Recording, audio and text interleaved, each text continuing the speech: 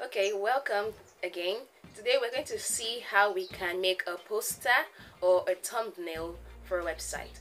So here I have my image and I also have my video that I'll use for this project. So to start with, we're going to add the video tag source.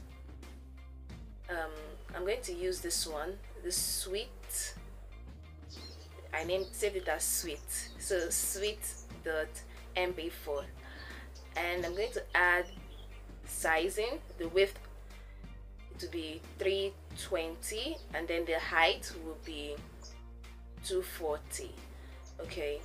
Then I'll add um, the poster. The poster attributes to be it to be this image that I'll add in it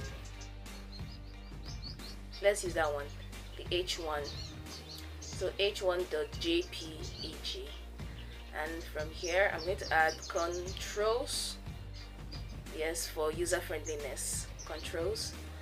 And then I'll close the video tag. So then I'll save and refresh. So here it is. The picture is there but when I play it it shows the video.